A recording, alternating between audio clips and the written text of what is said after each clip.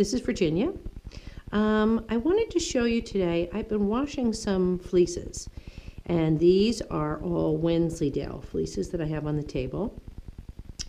And I washed them and I have spread them out here to dry. And I wanted to talk to you about the differences.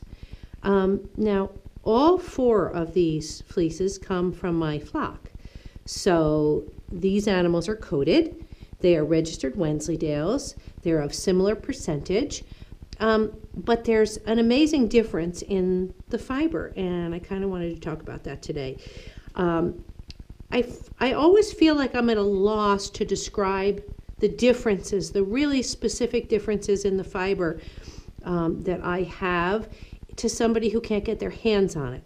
So this first fleece uh, we're going to look at is a Wensleydale. It's a white Wensleydale. The staple length is about, oh, probably four, between four and five inches. The lock structure, as you can see, this fleece likes, the locks like to uh, form themselves into a, I would say, a moderate lock formation, a good thickness. Um, it has a very soft handle. You can see there's pretty much no vegetable matter in this. If you pull out a lock, let's pull out another lock. This would be a great fleece to knit your locks in with because boy, these would hold. The character of the lock is there. You can really see that. Um, it would be perfect for that. Uh, you also could, if you were lock spinning this, let's grab another lock sort of randomly down in here. If you were going to lock spin this, these locks do come apart so you could pretty easily tease them apart into this sort of fibrous mass. But I think the strength of this one is each of these individual pieces, which are just, you know, well, that one got a little cottony. Most of these, not so much. Most of these just want to be this smooth um, type of, of lock. Now let's move to the next fleece. This is another Wensleydale.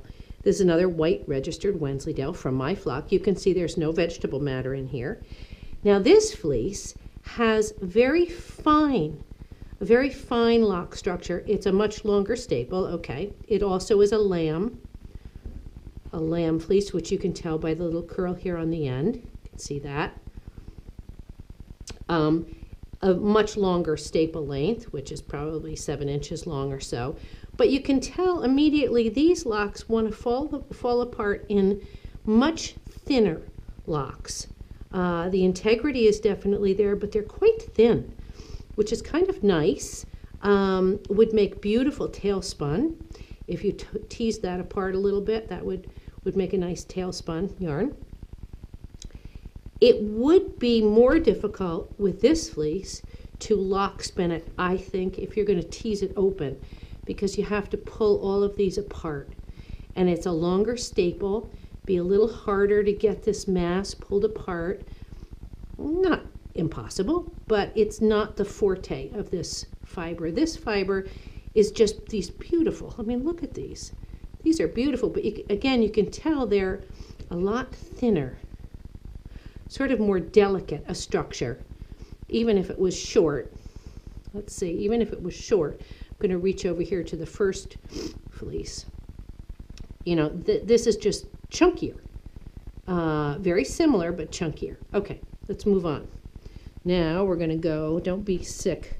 Hope I don't get you sick by walking around. I have a GoPro on and I'm not very good at using it, but it's on my head. So that's why I have my camera here to see what I'm looking at. Okay, this is the next fleece. Excuse me. This is, again, probably five inches long. Um, has a great character of curl. You can see how the, it, the, the lock will purl on itself back and forth. That's called purling.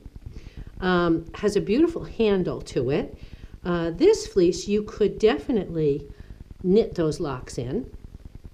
You can see it's a little finer than the first fleece that we looked at, which is kind of chunkier. It's a little finer than that, but it's not quite as fine as, hold on, don't get sick as I move, as this one.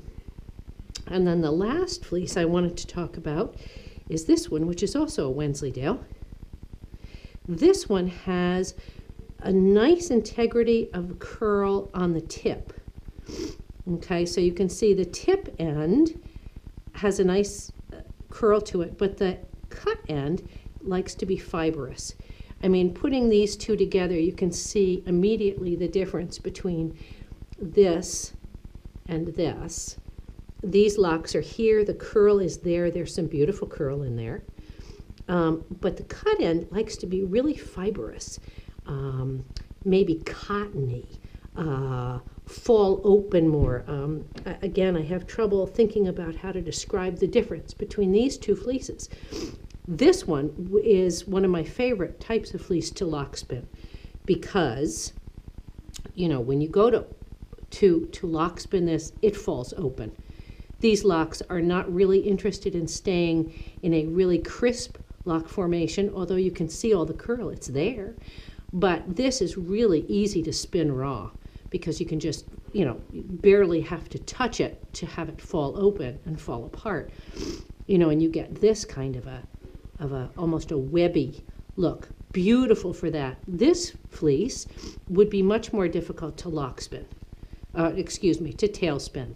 It's not as good. The locks don't want to hold their, um, you know, they don't want to hold their integrity individually as much as, say, this this lock. This guy wants to just be a lock. He doesn't really want to be pulled apart. This guy would love to be pulled apart and spun. So there you go. Uh, you know, four different fleeces, um, four of the same breed, not only the same breed, but also the same flock.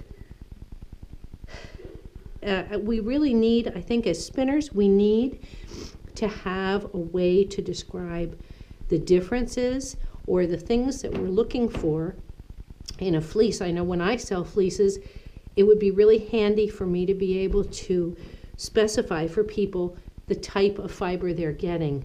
Um, and so I'm going to work, try to work on that, and I would appreciate any of your suggestions how to define the difference for somebody if they can't get their hands on this, um, because they're beau- they're all beautiful fleeces. But each one is a little different and each one sort of has its own forte. So there you go. Hope you'll come back. Uh, join us on Shepherd's Talk. We'll be talking more fiber, more fleece, uh, and more fun, hopefully. Bye.